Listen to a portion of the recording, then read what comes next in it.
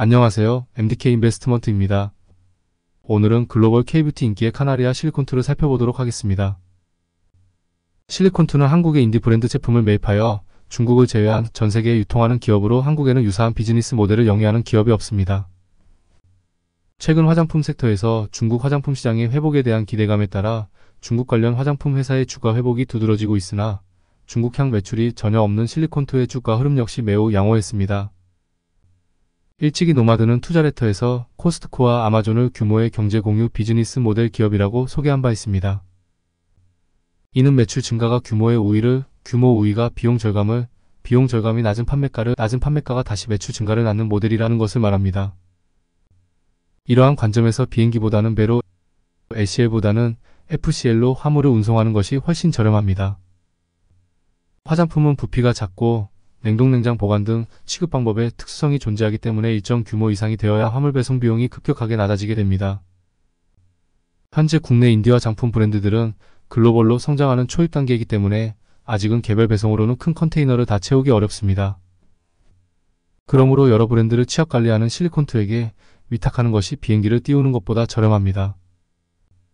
물류도 마찬가지인데 자동화 설비 부지 인력 등 돈이 여간 많이 들어가는 것이 아니기 때문에 물류센터가 돌아가기 위해서는 전방 소비 증가 및 재고가 빠르게 회전되는 순환적 구조를 가지는 것이 필요합니다. 그러므로 실리콘2의 BM에서 재고 자산 회전율은 기업의 재고 관리 효율성뿐만 아니라 성장 속도를 가늠할 수 있는 매우 중요한 지표입니다. 이 수치는 한 회계 연도 동안 재고가 판매되어 현금화되는 횟수를 측정하며 계산 방법은 연간 상품 매출 비용을 평균 재고 자산으로 나누어 환산합니다. 즉 높은 재고 자산 회전율은 기업이 재고를 신속하게 판매하고 재고 유지 비용을 낮추고 있음을 의미하여 경영 효율성과 수익성 면에서 긍정적인 신호로 해석됩니다. 따라서 이를 만족시키기 위해서는 정확한 수요 예측, 생산 계획의 최적화 및 유통 과정의 효율화가 필수적입니다. 또한 기업이 재고 수준을 최적화하면 자본이 장기간 묶이는 것을 방지하고 유동성을 증가시켜 경제적인 불확실성에 더 잘 대응할 수도 있습니다. 실리콘2의 재고자산 회전율은 연 5배 정도로 이러한 수치는 업계 최상위권의 수치라고 생각됩니다. 그런데 이러한 회사에서 최근에 또다시 단기 차입금 증가 공시가 나왔습니다. 당좌 차월 금액은 그대로인데 단기 차입금이 늘었다는 것은 특정 목적을 가지고 자금 차입에 나섰다는 의미로 봐야 합니다. 그리고 회사는 차입금의 목적이 물류 창고 확장과 운전자금 용도라고 밝혔습니다. 작년 11월에 200억을 차입했음에도 이번에 또 300억 원 추가로 차입을 한 것은 현재 경영진이 화장품 업황 및 향후 두 개 분기 동안의 매출에 대해서 자신하고 있다는 것을 보내주는 가장 강력한 시그널로 봐야 하지 않을까요? 게다가 회사는 지난 주총에서 코스RX, 조선미녀가 현재 주력 브랜드이지만 안우와 스킨천사, 믹순 등의 신규 브랜드가 기존 브랜드들을 위협할 정도의 시적 성장을 보이고 있다고 소통한 바 있습니다.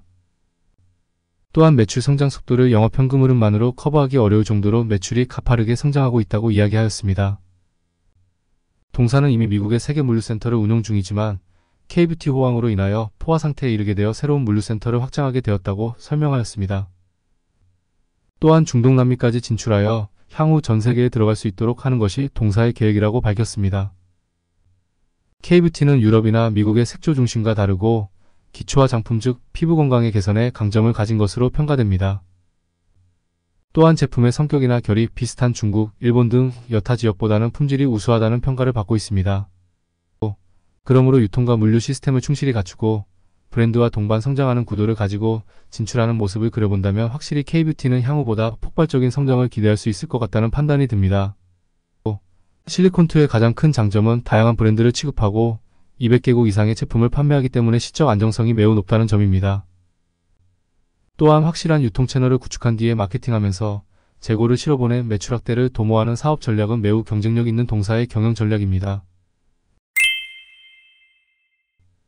동사의 가장 큰 리스크 두 가지는 K뷰티의 인기가 사라지는 것과 동사에게 판매를 위탁하는 브랜드들이 이탈하는 것입니다. 그러나 가성비 소비 열풍 트렌드에서 K뷰티의 인기는 쉽게 사그라들 것이라 생각되지 않으며 이번 주주총회에서 동사는 이탈하는 브랜드는 없으며 오히려 국내에서 많은 브랜드들의 러브콜이 들어오고 있다고 밝힌 바 있습니다. 여러분은 어떻게 생각하시는지요? 하방은 막혀있고 상방은 열려있는 기업이라고 생각되지는 않는지요. 투자의 판단은 스스로에게 있습니다. 부족한 영상 귀한 시간 허락하여 시청해주셔서 감사합니다.